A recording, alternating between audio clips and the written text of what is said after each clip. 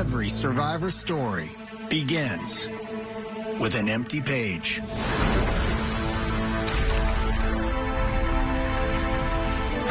It's up to the players to leave their mark. I want to forge my own legacy in this game.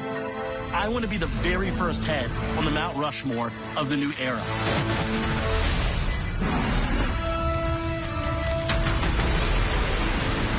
This will be the most important chapter of my life. Survivor is a completely blank page right now. I want to come here and really be one of those big name players that people are saying, we want to see this guy. People look at me as an underdog. That's Miss Delaware, whatever. She has nothing more to her. And I'm like, I'm a big dog? I have no outdoor skills. What am I doing here? I went camping as a Cub Scout. I threw up and went home.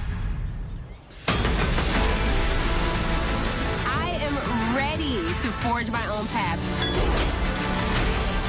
I want to be the fastest person out here. I want to be the strongest person out here. I wish they had a bench press competition because I just hit 300. My final words will be, I'm 59, and I beat all your asses. I'm either going to blaze my own path out here or I'm going to burn down this island. It has to be victory or glorious death.